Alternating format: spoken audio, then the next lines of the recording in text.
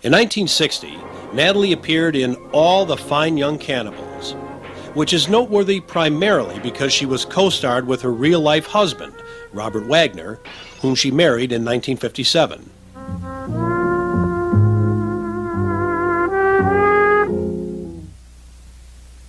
I see a cat come up out of the Texas jungle. This is that cat breaking loose now. The turbulent tempo of a hot trumpet. Barbaric music of youth restlessly searching for love. Couldn't stop myself. Chad, don't punish me. Natalie Wood and Robert Wagner, in their first picture together, had the cast of young moderns in All the Fine Young Cannibals, which co-stars Susan Kohner and George Hamilton. I like spoiling the fun. You're going to be a fascinating woman, Catherine. It's a secret, and nobody knows we're married. All the cannibals are not in the jungle. Here are the sophisticated young savages of our modern world, grabbing at life and love with both hands, with all the fury of the wilderness.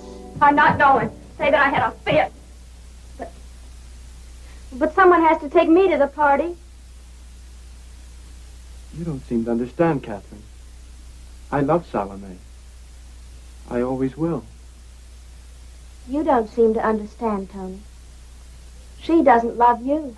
These are not kids. They're young adults, yet ready to destroy each other in their search for love. She's better than both of us. She's honest. I'm honest too, Chad. I wanted you and I went after you. I still want you. Is it Chad? Are you in love with him? No. Oh, Tony, I don't know. I want to love you. If I can't have you, then I want to hurt you.